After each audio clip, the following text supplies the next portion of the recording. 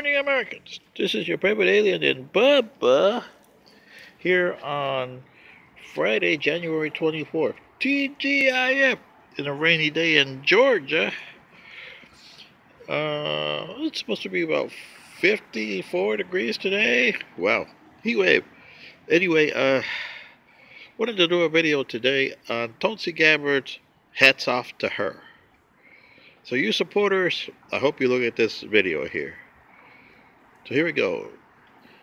Dear Miss, uh, dear Congresswoman Tulsi Gabbard, hat, my hat's off to you. Wow. Now I know you're the right candidate for the Democratic Party.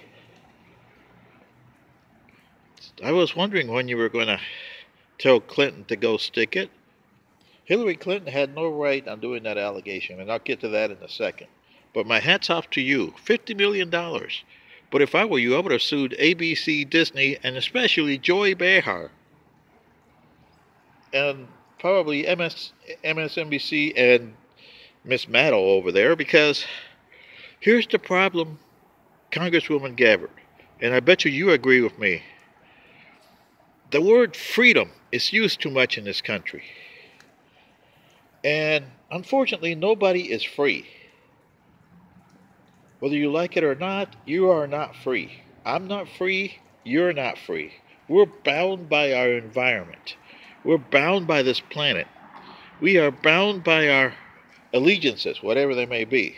Some people it's Muslim, some people it's they call it Christian, and some people it's Democrats and Republicans. And you see what that does to people.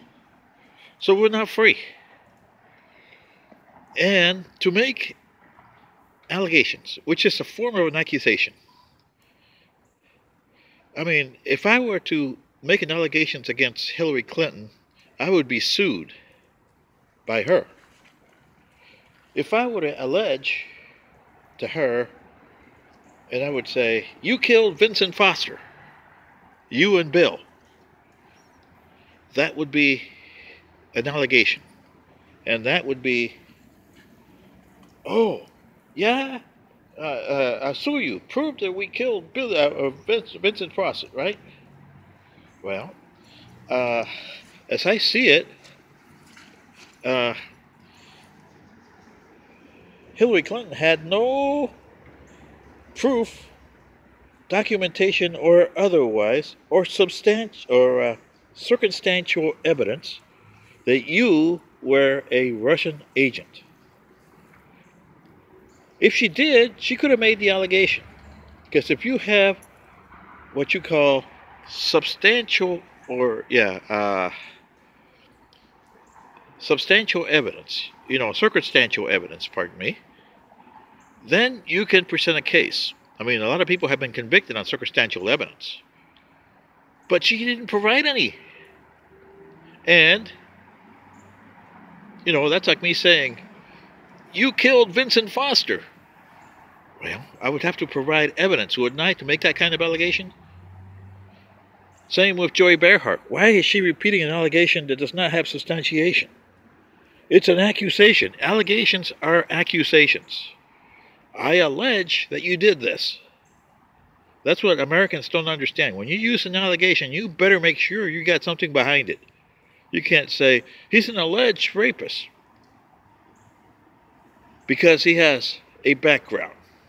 The judge will throw that out because that's prejudicial to the client. Remember that?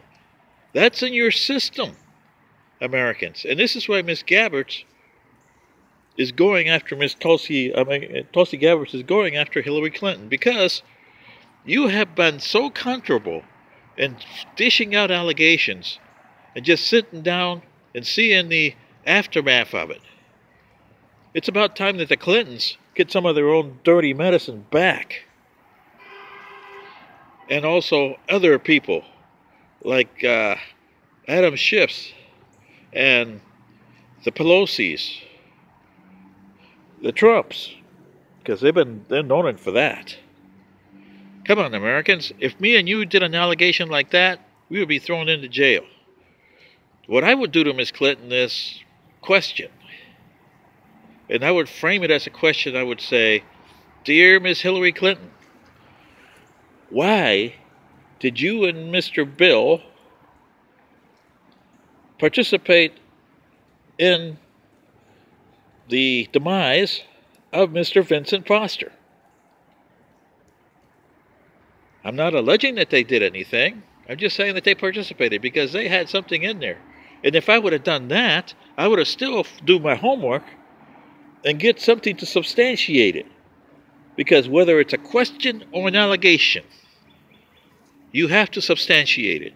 My hat's off to you, Tulsi, and I hope you Americans understand your system. I'm a alien from another planet, and I understand your system because your system parallels my ancestors.